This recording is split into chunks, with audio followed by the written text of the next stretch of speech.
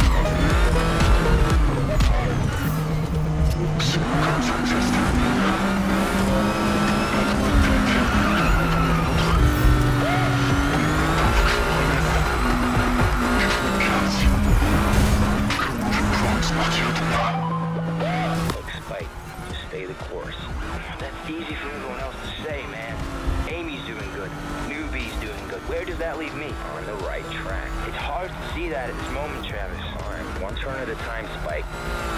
You two get over to the garage. I got a bit of inspiration. You hear me, Spike? Yeah, yeah, I got you. Catch you guys over there.